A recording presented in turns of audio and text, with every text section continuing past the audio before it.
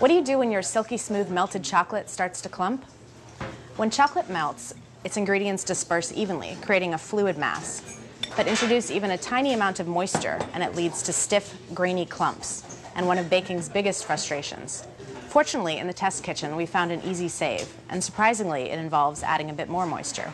To reverse the graininess, you need to add just enough water to dissolve the clumps.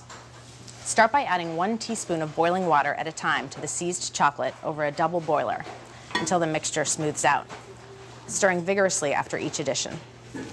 The one caveat is that while this makes your chocolate liquid again, it also dilutes it slightly, so it's no longer reliable for baking recipes. It can still be used for chocolate sauce, hot chocolate, drizzling, and dipping, though. So how do you prevent your chocolate from seizing in the first place? Just make sure your bowls, pans, and utensils are all completely dry before starting. This will ensure that your chocolate is silky smooth and your chocolate melting is frustration-free.